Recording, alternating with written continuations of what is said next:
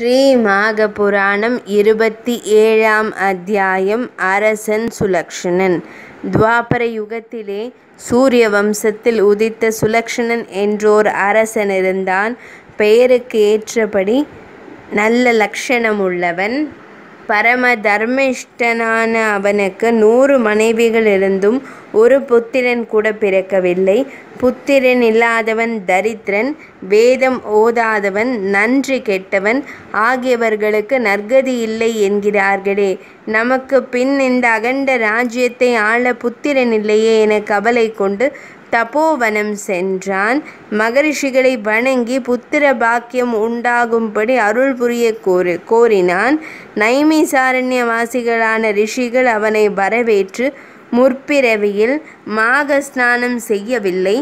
சுக்ல சப்தமியில் கூஸ்மாண்டம் திலம் நெய் ஆகிய தானமும் செய்யாமல் மற்றவைகளைச் செய்தாய். அதனால் புத்திர பாக்கியம் இல்லை என்றனர். அரசன் அவர்களை வணங்கி இனியான் அவைகளை விடாமல் செய்கிறேன். இப்பிறவியில் உடனே ஒரு புத்திரன் பிறக்க ஏதேனும் அனுக்கிரகம் செய்யுங்கள் என்றான்.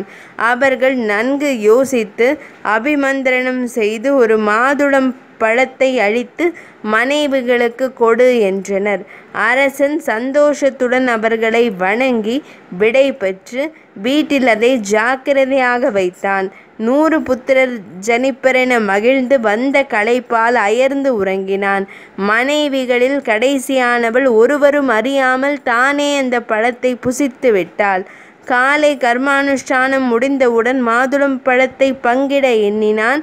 ஆனால் அதை காணவில்லை. ஆச்சரியப்பட்டான். கோபம் கொண்டான். ரிஷி பிரசாதத்தை அரண்மனையில் திருடியவர் யாராயினும் அவரை க கடுமையாக தண்டிப்பேன் என்றான். அதை கேட்டு பயந்து அரச பத்னி உண்மையை கூறி மன்னிக்க வேண்டினாள். பத்தினிதானே உண்டாள் அவளிடம் குழந்தை பிறக்கும் என ஒருவாறு சந்தோஷமடைந்தான்.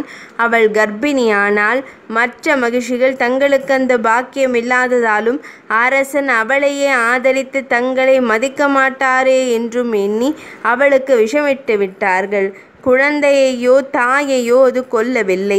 ஆனால் தாய்க்கு பைத்தியம் பிடித்தது. காட்டில் திரிந்தாள். அரசன் அவளை தேடியும் அகப்படவில்லை. பத்தாவது மாதம் காட்டிலே ஓர் ஆண் சிசுவைப் பெற்றாள். அருகிலுள்ள குகையிலிருந்து பசியுடன் வந்த புலி அவளை புசித்து விட்டது. குழந்தை அனாதையாக அழுது கொண்டிருந்தது. தற்செயலாக மேலே பறந்து சென்ற ஒரு அன்னப்பறவை குழந்தையிடம் இரக்கம் கொண்டு தன் இறக்கையால் நிழல் அமைத்து தனது இனத்தவர் மூலம் தேனும் கனியும் தந்து காத்தது. குழந்தை விளையாடிக் கொண்டிருந்தது. ஒருவராலும் காக்கப்படாததை ஆரண்யத்திலும் தெய்வம் ரக்ஷிக்கிறது. வீட்டில் நன்றாக ரட்சிக்கப்பட்டாலும் நாசமடைகிறது இது பொதுவான கருத்து. வனத்திலே முனிவர்கள் மாக ஸ்நானம் செய்ய கோஷ்டியாக வந்தனர்.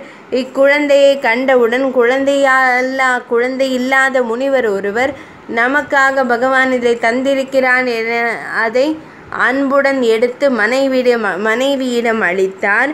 அவருக்கு இரு மனைவிகள். முதலில் இருவரும் இரண்டாண்டு அன்புடன் அதனை வளர்த்தனர். பிறகு இது என் குழந்தைதான் உனக்கல்ல என்று இருவரும் சண்டையிட்டனர். ஒரு நாள் மூத்தவள் குழந்தையை வனத்திலேயே இருட்டில் கொண்டு விட்டு இருவருக்கும் குழந்தை வேண்டாம் என்று திரும்பி வந்தாள். முனிவர் சிசுவை காணாமல் பல இடங்களிலும் தேடினார்.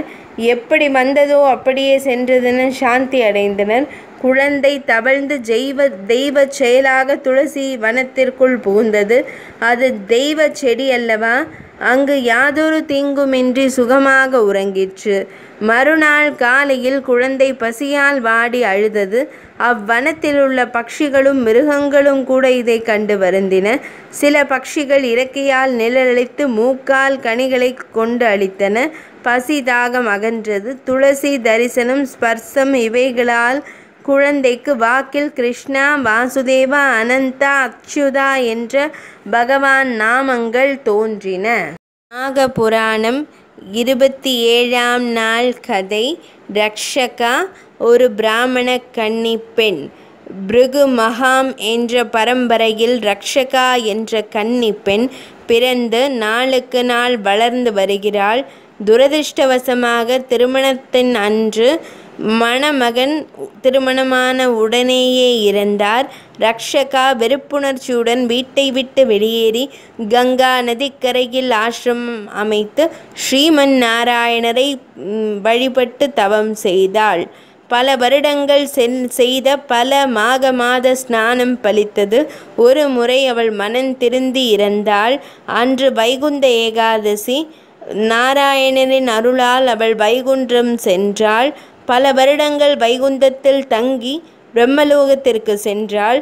மாக மாத விரதத்தின் பலனை பெற்று அவள் புனிதமானதால் பிரம்மதேவர் அவளை தேவ காரியங்களை நிறைவேற்ற அப்சர பெண்ணாக ஆக்கி திலோத்தமா என்ற பெயருடன் சத்தியலோகத்திற்கு அனுப்பினார். அப்போது சுந்தோ வசுந்தலாவின் இரண்டு அசுர சகோதரர்கள் பிரம்மாவை குறித்து கடும் தவம் செய்தனர். பிரம்மதேவர் அவர்களின் தவத்திற்காக தோன்றினார். உனக்கு என்ன வேண்டும்? உனக்கு என்ன ஆசை இருக்கிறது? என்று பிரம்மதேவர் கேட்டார். இறைவா நாம் மற்றவர்களால் இறக்கக்கூடாது என்ற வரத்தை தந்தருளுங்கள் என்று வேண்டிக் கொண்டார் அப்படி கொடுத்து கொடுத்தார் பிரம்மதேவர். பிரம்மதேவரால் ஆசிர்வதிக்கப்பட்ட அந்த இரு அசுரர்களும் மகரிஷிகளின் தவத்தை குலைத்து கர்ப்பத்துடன் தேவர்களை சித்திரவதை செய்து யக்ஞ யாகாதி சந்நியாசிகளின் சதை ரத்தம் துஷ்பிரயோகம் செய்தார்கள். அவர்கள் கோயிலுக்கு படையெடுத்தனர். அனைத்து கடவுள்களும் எடுத்து துவம்சம் செய்யப்பட்டனர்.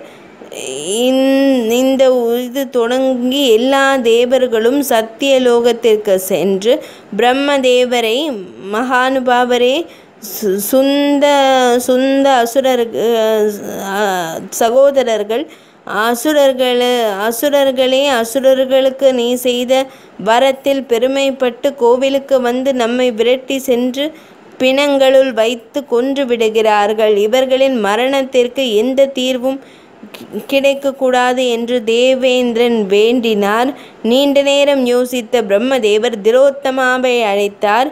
அம்மா அசுரர்களுக்கு யாரும் சா யாராலும் சாகாத வரம் கொடுத்தேன். மணப்பெண்ணின் பெருமிதத்துடன் வம்பு செய்கிறார்கள். நீ போய் உன் சக்கர வண்டியால் அவர்களை கொல்ல முயற்சி செய் என்றார். திலோத்தமா பிரம்மதேவரை வணங்கி கையில் வீணையை ஏந்தியபடி இனிய பாடல்களை பாடி அந்த அசுர சகோதரர்கள் இருக்கும் குடியிருப்புக்கு அருகில் சுற்றித் திரிந்தாள். சுண்டோபசந்தர்கள் வீணையுடன் இருக்கும் கன்னியையும் வீணையின் சத்தத்தையும் அவளின் இனிய பாடலையும் கேட்டுவிட்டு திலோத்தமையை நெருங்கினார்கள். அவள் எங்கு சென்று அலைந்தாலும் பார்வையாளர்கள் போல் அவளை பின்தொடர்ந்து நன்றாக இருக்கிறாய் எங்- வ- என்று அவளை அழ வைத்தனர். திலோத்தமா ஓ பேய் ஆக்கிரமிப்பாளர்களே நான் உங்களை திருமணம் செய்து கொள்ள விரும்புகிறேன். நீங்கள் இருவரும் எனக்கு சமம். உங்கள் இருவரையும் நான் மிகவும் காதலிக்கிறேன். இருவரையும் திருமணம் செய்வது சாத்தியமில்லை. வலிமையானவர்களை சூழ்ந்து கொள்ள எனக்கு விருப்பம் உள்ளது அவள் சொன்னால் உங்கள் இருவர்களுக்குள்ளும் யார் வலிமையானவர் என்ற வார்த்தைகளை கேட்க அவர்களை அது சிந்திக்க வைத்தது. உங்களை விட பலசாலி என்று சொன்னான். அவளே அவனே வலிமையானவன் என்றான். விவாதம் அதிகமாகி மரியாதை வந்தது. யார் பெரியவர் என்று முடிவெடுக்க கடும் போர் தொடுத்தார்கள். இரண்டு பேரும் மல்யுத்தம் பலவிதமான ஆயுதங்களுடன் போரிட்டார்கள். இறுதியில் இருவரும் கத்தியுடன் சண்டையிட்டு கொண்டும் கத்தியால் சண்டையிட்டு கொண்டும் கொண்டே ஒருவரை சண்டை மிகுந்த சண்டையிட்டு கொண்டு ஒருவரை ஒருவர் சத்தமிட்டு கொண்டும் இறந்தனர். இருவரின் மரணத்தால் அனைத்து தேவதைகளும் மகிழ்ச்சி அடைந்தனர் திலோத்தமாவை பலவாறாக போற்றினர் தேவர்கள். பிரம்மதேவரும் மகிழ்ச்சியாக திலோத்தமா உங்கள் திறமையால் பள்ளிகளின் அவலத்தை நீக்கிவிட்டீர்கள். எல்லா தெய்வங்களையும் வணங்குபவராக ஆக்கிவிட்டீர்கள். இதெல்லாம் நீங்கள் செய்த மாக மாத விரதத்தின் பலன். இனிமேல் நீங்கள் எல்லோராலும் பரலோகத்தில் ஒரு தலைவராக மதிக்கப்படுவீர்கள். உங்கள் பிறப்பு பாக்கியமானது. கோயிலில் சென்று சந்தோஷமாக இருங்கள் என்று அவளை வாழ்த்தி கோயிலுக்கு அனுப்பினார் பிரம்மதேவர். இருபத்தி ஏழாம் நாள் கதை முற்றிற்று.